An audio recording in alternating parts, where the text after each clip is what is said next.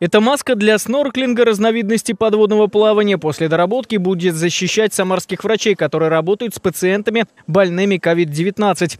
Для этого к маске прикрепит специальный фильтр для очистки воздуха. Его разработали в технопарке Самарского медуниверситета. Она печатается на 3D-принтере. Конструкцию уже проверена на практике. Так защищались итальянские врачи.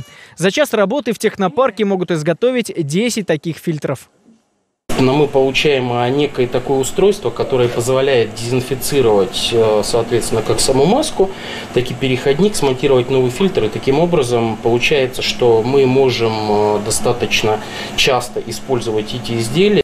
А это прототип противопролежневой подушки. Она необходима для пациентов, которые не могут вставать. Прототип изготовлен из поролона. Рабочие образцы исполнят из силикона. Одну такую подушку уже отправили в больницу Середавина для апробации. После тестов на практике технопарк предоставит лечебному учреждению серийные образцы.